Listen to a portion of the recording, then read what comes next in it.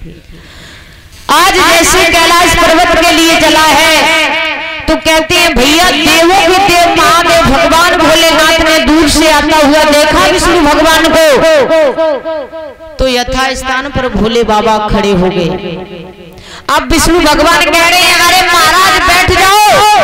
इससे बड़ा दुनिया में कोई पापी नहीं हो सकता। इसने जीवन में कभी धर्म नहीं किया कभी दान नहीं किया कभी पुण्य नहीं किया ये तो बहुत बड़ा संसार में पापी है। तब तक पास में पहुँचे तो भोले बाबा ने जब ये सुना तो भोलेनाथ हंसने लगे। विष्णु भगवान की बात सुन के। विष्णु भगवान बोले महाराज ये बलि है ना ये पहरोचन का बेटा है। बोले कारण क्या है?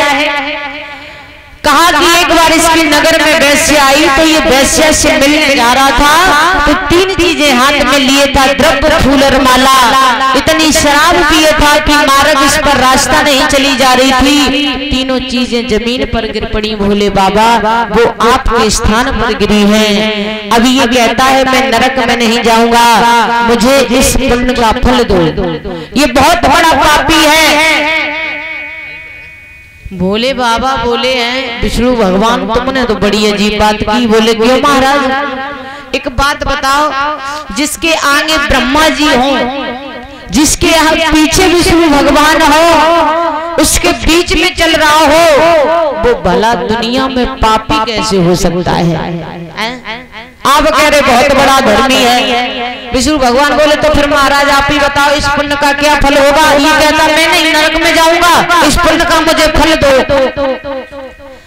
तो भोले बाबा बोले हैं कि जाओ। इसकी तीन चीज़ें मेरे स्थान पर गिरी है। अब जान में गिरी हो या अनजान में गिरी हो।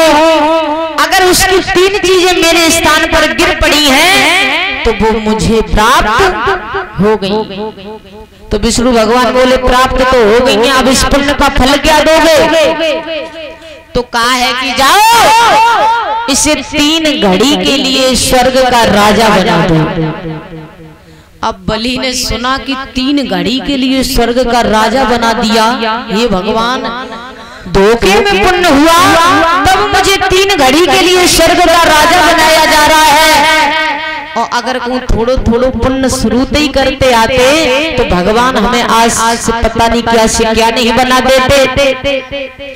तो कहा है कि जाओ तीन घड़ी के लिए स्वर्ग का राजा बना दो। अब धर्मराज बोले चुपचाप कहने लगे ये बताओ बलि